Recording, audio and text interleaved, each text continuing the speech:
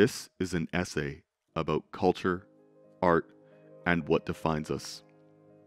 This is about who owns our collective memories. This is about property, responsibility, and history.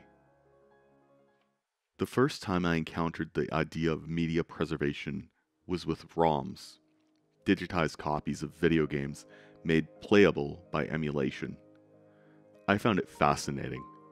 Growing up, while I certainly would be exposed to new media, I wouldn't always be able to engage in its consumption. Video games, in particular, were fairly inaccessible because video games have been and continue to remain a reasonably expensive hobby. While rentals made certain titles accessible, the variety of content would be limited, and so I would be unable to play a large portion of these media libraries that was available at the time. Granted, not everything from those libraries was even worth playing. Maybe I wouldn't have personally enjoyed them. Regardless, that was not my decision to make. Even if I'd heard about a new game, I would have to wait until it came to my rental shop. Even if my favorite game ever had come out at the time, I might never know because I'd never have the opportunity to experience it. At least until now. Thanks to the ever growing popularity of emulation, old video games are more accessible than ever. You can easily boot up your console of choice, head to your favorite digital storefront, and legally purchase the media of your choosing in just seconds. And generally, the quality is acceptable. On its face, this seems to be an excellent alternative to what is the technically illegal sharing of intellectual property.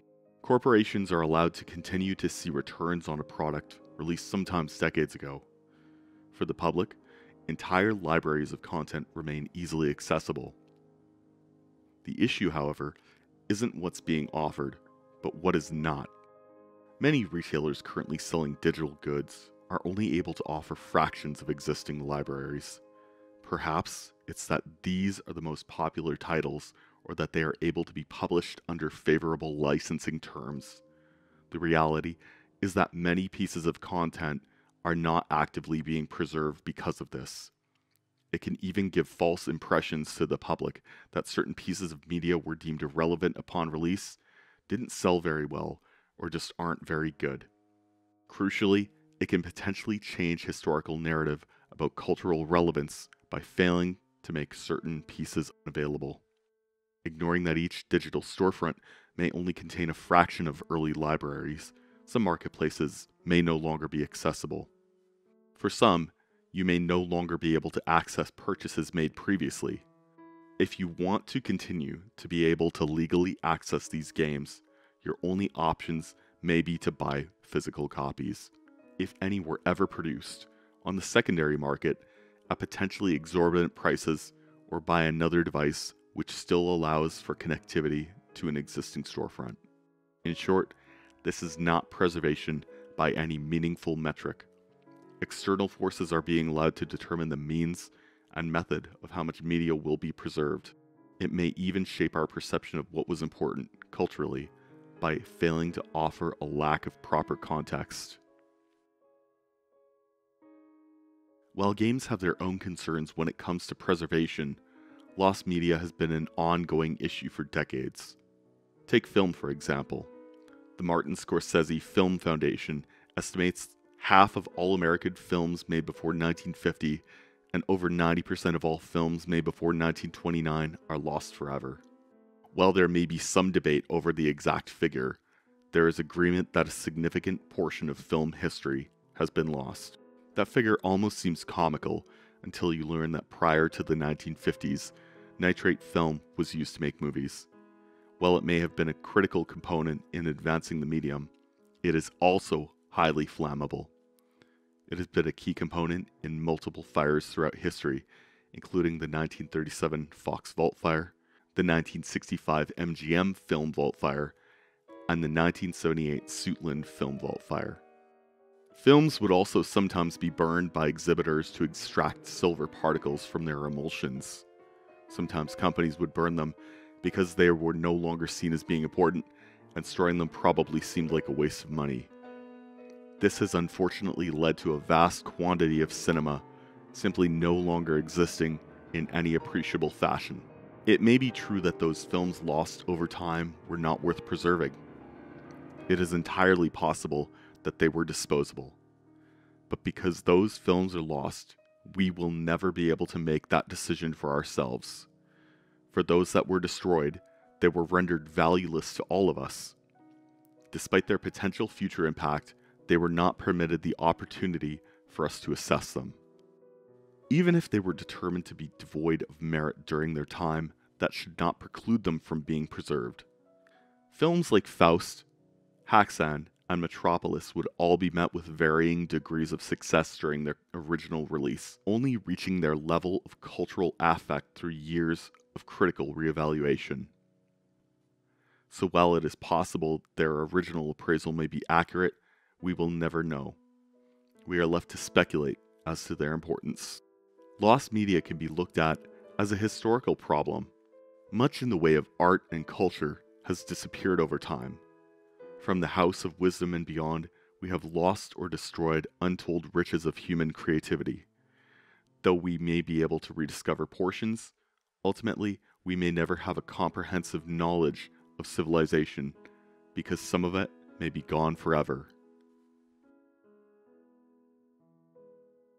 Where once we recorded history on clay tablets and parchment, much of our culture has found itself inexorably linked to proprietary media formats. While most people will be familiar with VHS, tape cassettes, and vinyl records, standardization is a fairly recent innovation. Even over the course of the past hundred years, media formats have changed drastically. Magnetic tape has seen countless iterations that have been rendered obsolete. Formats like the play tape, RCA tape cartridge, and the 8 track, among others.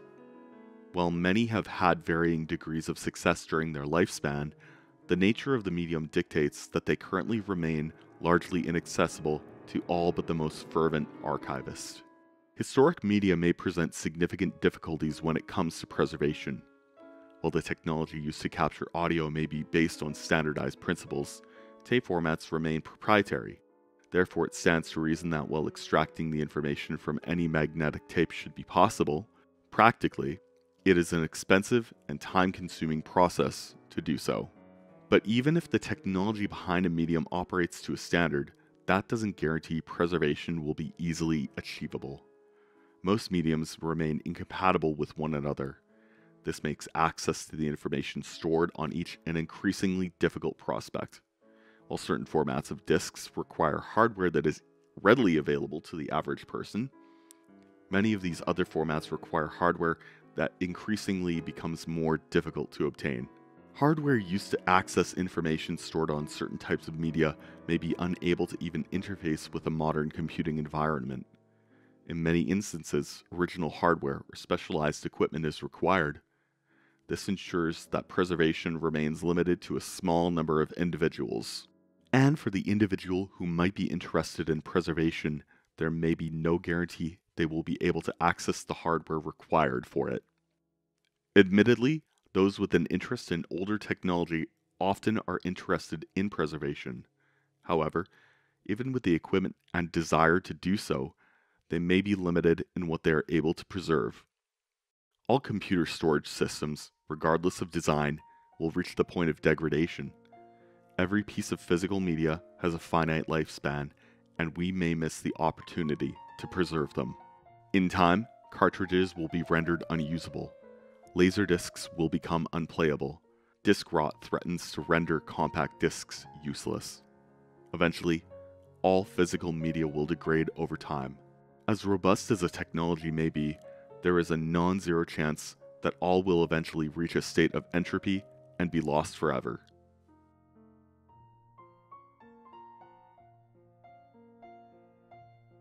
For many people, the most prescient example of a storage medium is the audio format. Among those, vinyl is well known for its durability. In contrast with other storage mediums, it is not difficult to see why. Audio cassettes have a reputation of being especially fragile prone to unspooling in audio players, or easily erased by common household magnets. Compact discs have been renowned for their high audio fidelity and wide dynamic range. However, compact discs too often found themselves victims of significant wear. While the compact disc itself may not come into contact with the stylus the way a vinyl record does, they were often seen as a mobile alternative. For many years prior to the rise of digital streaming, compact disc players found themselves both cheap and widely available, from car stereo systems to portable CD players. Compact discs often found themselves played in suboptimal environments, being exposed to extreme heat and cold. Physical damage would not be uncommon, as they were often stored in binders constructed of materials that could be abrasive to the discs themselves. Even dirt or fingerprints on the reflective side of the disc could render media unplayable. To contrast this, vinyl does not suffer from the same issues. Vinyl records are manufactured to be a single, solid piece of vinyl polychloride. This ensures they are significantly more durable than the brittle plastic shells cassette tape is carried in, and much more physically resilient than compact discs. They cannot be demagnetized like tape or suffer from disc rot. In comparison to the fragile nature of either of those mediums, they can be considered effectively durable objects. But vinyl records are not impervious to the ravages of time. They too can become warped, scratched, and rendered unplayable. The act of playing a record with needles that are worn out may damage it. Perhaps the turntable is not properly calibrated, has an undersized platter, or heavy tone arm. There are many factors which may diminish a record's lifespan. This is not to say that vinyl is a bad format for storage. However, it is to say that it is an imperfect format for storage. Every single format we have ever created has its own points of failure. Given enough time, every method we currently have available for preserving our art and culture will succumb to entropy, taking that information with it. There may be a question about why preserving media matters.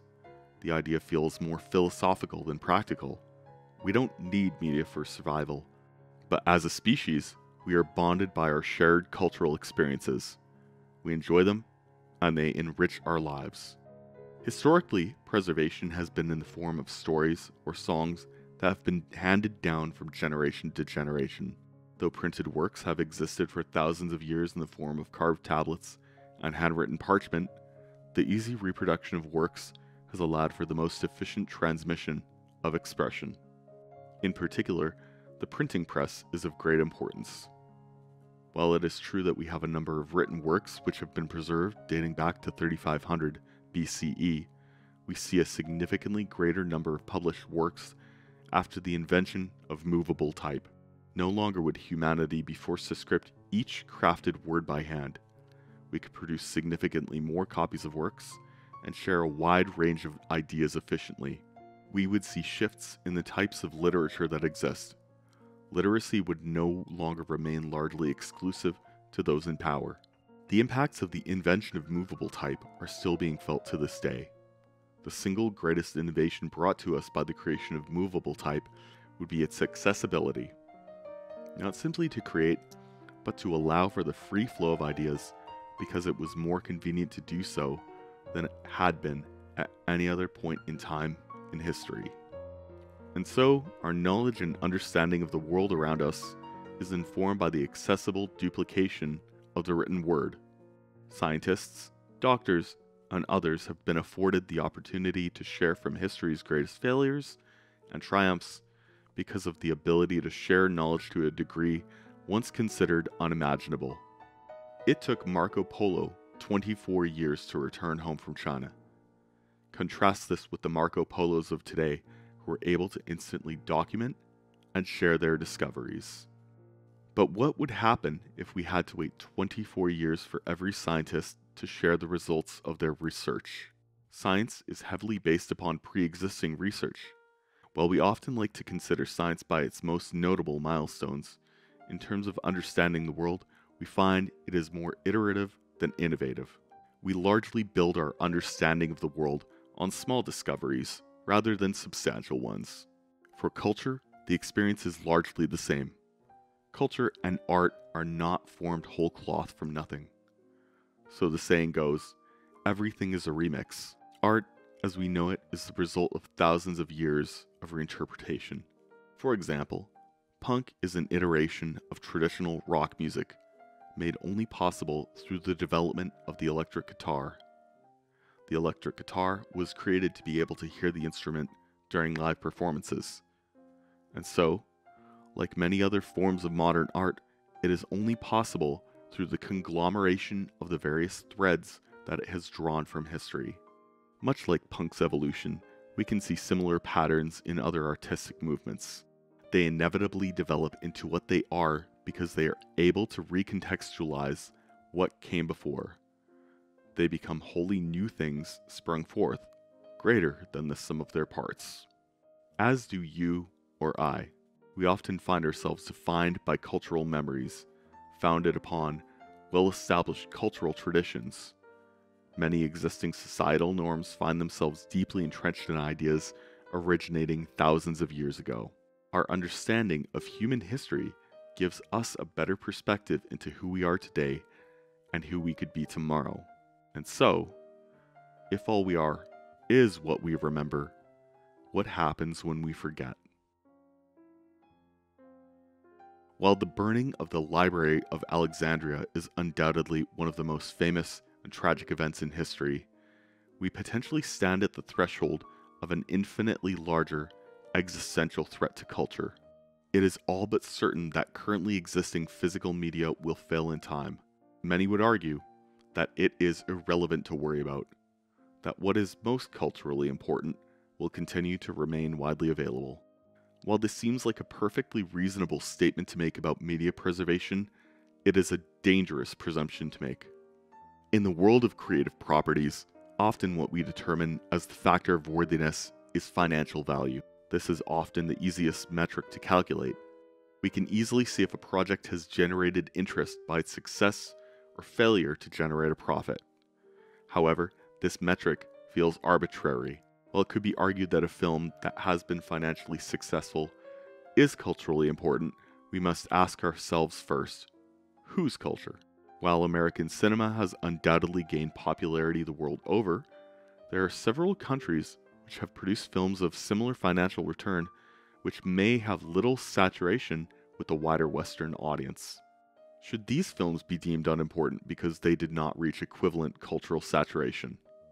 With regards to financial return, it could be argued that while financial success shows interest in a property, a property can also become financially successful by producing a film with a lower budget, a novel concept, or just a good marketing campaign without reaching significant awareness? And what of the films that may be culturally relevant and are profitable, but not as profitable as other properties? Should we ignore those? And what about properties which are no longer financially viable? Many classic serials or film noir hold little or no financial value because they have fallen into the public domain. For rights holders, there is little incentive to ensure their preservation but as cultural artifacts, they remain of vital importance. Much like how Pachelbel's Canon in D has found itself remixed and repurposed countless times, so do we find their ideas invoked time and time again. Of course, it has been long accepted that preservation of history should remain sponsored by the public interest. While museums and art galleries often function as public attractions, they are not solely profit driven. They are able to operate like public utilities without the need to worry about return on investment. That is not to say that the public interest is impervious to failure, but it has support systems in place that are not beholden to financial interests. We should seek to fund those who are not financially incentivized to make determinations about what should be accessible to the public. While long term information storage becomes an increasingly expensive proposition, public management is vital. When knowledge becomes managed by the public interest, it has the best opportunity to ensure it remains accessible to all. We live in an age where information is readily accessible to the public. But what we take for granted as access to art and culture is only what is permitted. It is easy to mistake free access for altruism.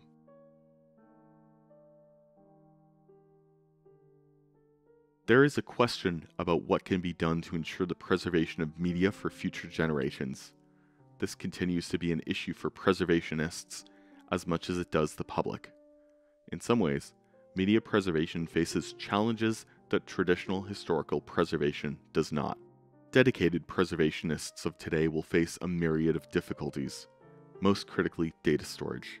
There may be some long term solutions which claim to last upwards of 1,000 years, but these themselves face challenges of their own. For example, if we assume that the amount of current data online is in the range of zettabytes, you would need tens of billions of compact disks, and that number grows exponentially with every upload. While file sizes can be mitigated with compression, current physical media is still only able to capture fractional percentages of what is estimated to be online. And the claims that certain types of media will last hundreds or even thousands of years is currently just that a claim. Undeniably, they may be built to a more rigorous standard, but if history has shown us anything about data storage, it's that nothing is foolproof. Because they are intended to last centuries, there is no way for us to genuinely validate that claim. Until we can show them operating for the time span indicated, it cannot ever be a guarantee. And then there is the question of obsolescence. While we can be reasonably assured that 100 years from now, we will still be able to read existing physical formats, because we have historically been competent at ensuring we preserve the devices we need to play them, it may be relatively safe to assume that a piece of media created today will be able to be accessed in the future.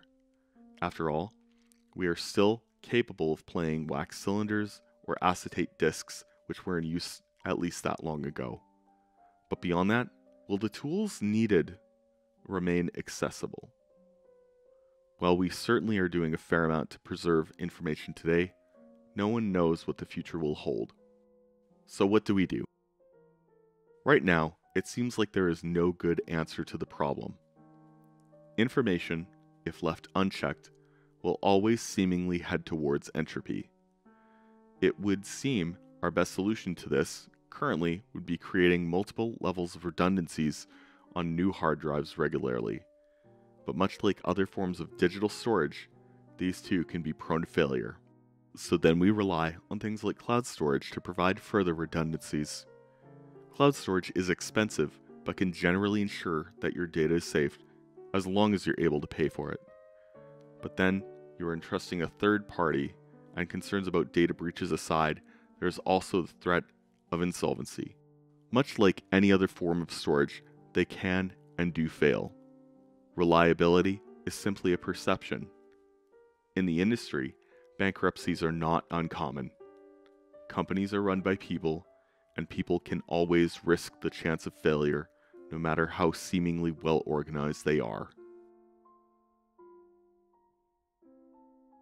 One of the most critical issues with media preservation is to raise awareness as to its importance. We may not see it in our daily lives, but we are living history. One day, the societies we live in will be learned about in textbooks, much like we do with our ancestors. Our stories of today will become the thing of myth that go on to influence the storytellers of tomorrow. But we need to ensure that they survive until then first. So, what do we do? Perhaps we accept that it is a significant effort going far beyond the purview of a single individual or organization. There may come a time when a single form of storage media is resilient to physical degradation and data entry that will be able to store an infinite amount of information preserved for countless generations.